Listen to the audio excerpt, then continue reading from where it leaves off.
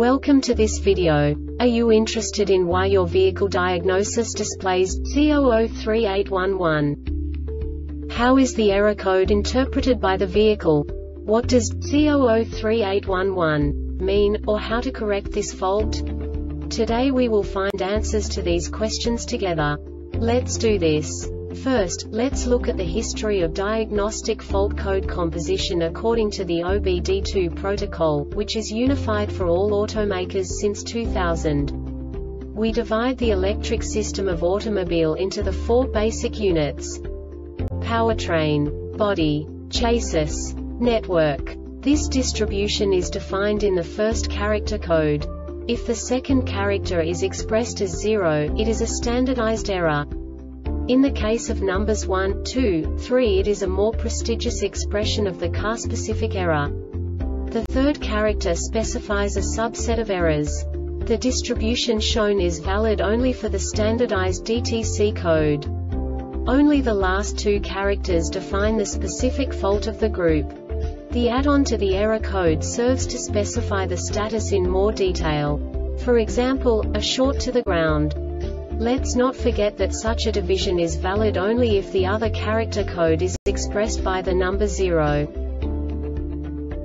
Our website airbagreset.sk produces useful videos for you.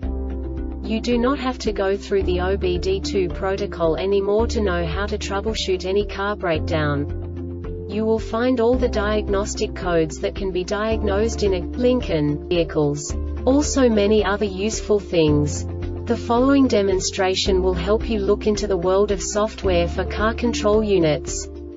You unbelievably can move the video a bit further. The error code is split into two bytes consisting of 16 bits. One bit is the basic unit that each computer works with. The bit has two logical states. 0, low level, 1, high level. By combining the first two bits, the basic character of the error code is expressed. The next two beats again determine the second character. The last beat styles of the first byte define the third character of the code.